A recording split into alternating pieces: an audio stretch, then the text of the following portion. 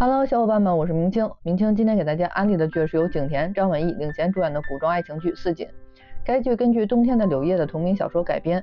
说实话啊，这剧明清去看了原著小说后，景甜演女主没啥毛病，但是张晚意演这个角色真的是有突破啊。原著这男主追妻的性格和手段，请不要改编。我想看张晚意去演。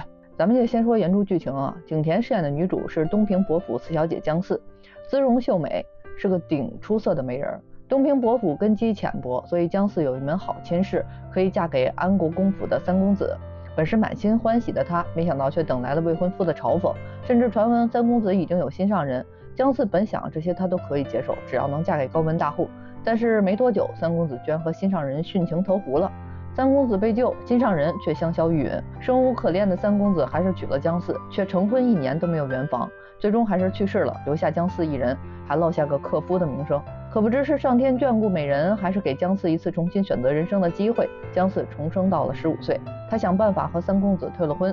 前世的虚荣心让他错过了很多事，很多值得他守护的人。所以重活一世，他决定重新来过。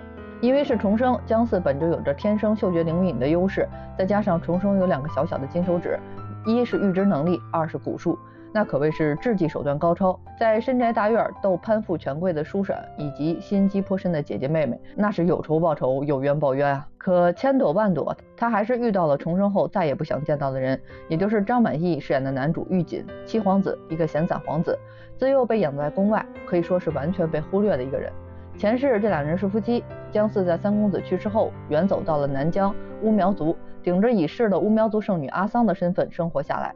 当时七皇子联合乌苗族抵御外敌，因此结识了姜四，两人渐生情愫。后来姜四知道了玉锦的真实身份后，很生气，甚至绝望，自己的身世怎么可能成为皇子妃呢？结果玉锦告诉他，只要他想嫁，他就一定来娶她。果不其然，姜四等到了皇上的赐婚圣旨。只是后来他才知道，玉锦心悦的从来都是乌苗族圣女阿桑，而不是姜四。两段婚姻，一段是被人嫌弃冷落，一段是被人当做替身。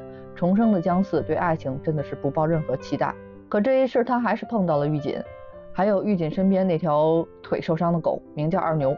那狗前世今生对姜四都极为亲近，见过它的人都觉得这狗一定是成精了。因为在战场上救玉锦受的伤，所以玉锦一直把它带在身边。姜四没想到这一世，这个狗见到他还是那样喜欢他，甚至一直为他和玉锦创造机会在一起。有玉锦一个人跟他献殷勤还不够啊，居然还多条狗。咱们聊到这儿呢，小伙伴们肯定都有所猜测，前世姜四是不是误会了玉锦？是的，玉锦无论前世今生，爱的都是姜四，因为年少的时候就遇到过姜四，姜四还救过他。哎，因为啥救的他呢？说实话，明清是万万没想到啊，玉锦男扮女装，差点被卖到青楼。哎，咱就说真会玩啊！金生从他第一次见了姜四，就开始想要靠近他，了解他。一开始是彬彬有礼、清风朗月的，后来发现不行啊，媳妇儿不太爱搭理我。后来干脆就直接不要脸了，死缠烂打，外加威胁恐吓，只要能把媳妇儿留在身边，那是无所不用其极啊。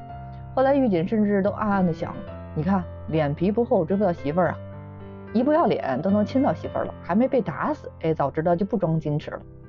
咱就说，就这二皮脸追妻的男主，配上张晚意这张正义凛然的脸，我就说我想看他演，剧情和人设不能变。小伙伴们是不是理解我了？总的来说呢，小说真的很长啊，有前世今生的各种恩怨、误会的解决，还有一些探案成分在其中。因为女主重生有金手指了，不用跟浪费了，所以小说女主利用自己的优势抽丝剥茧，破了很多疑案。当然啊，男主不掺和一下也是不可能了，要不最后怎么能抱得美人归呢？总之呢，小说属于多元素的，有重生，有复仇，有破案，有纯爱，全程诙谐轻松是基调。如果喜欢这类型的呢，千万不要错过这部剧。本期呢，咱们就安利到这儿了。如果喜欢，欢迎关注明清，咱们下期见啦，拜拜。